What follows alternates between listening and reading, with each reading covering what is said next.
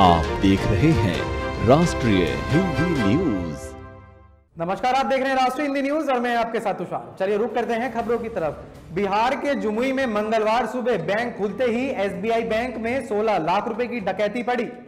चकई थाना से महज 500 मीटर दूर, करीब 10 बजे पाँच लोग बैंक के अंदर प्रवेश करते हैं। साथ ही जानकारी के लिए आपको बता दें कि अंदर का माहौल देखने के बाद सभी अपने अपने हथियार निकाल लेते हैं और कर्मचारी को गन पॉइंट पर ले लेते हैं।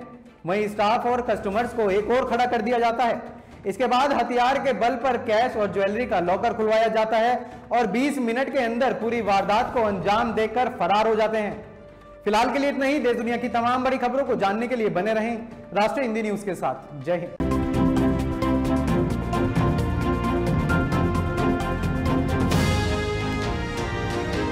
आप देख रहे हैं राष्ट्रीय हिंदी न्यूज़।